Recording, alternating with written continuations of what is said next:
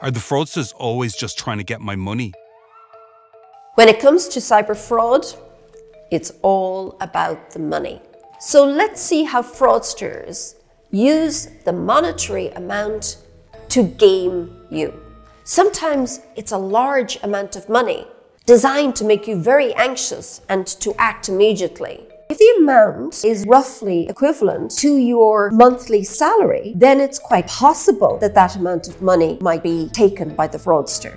Sometimes it's a very small amount, an amount where you think it's less than two euros, it doesn't really matter, but it does. It may be a small amount of money, but it really matters if through clicking on the link and giving up your details, your account is compromised. Remember, stop, think, check.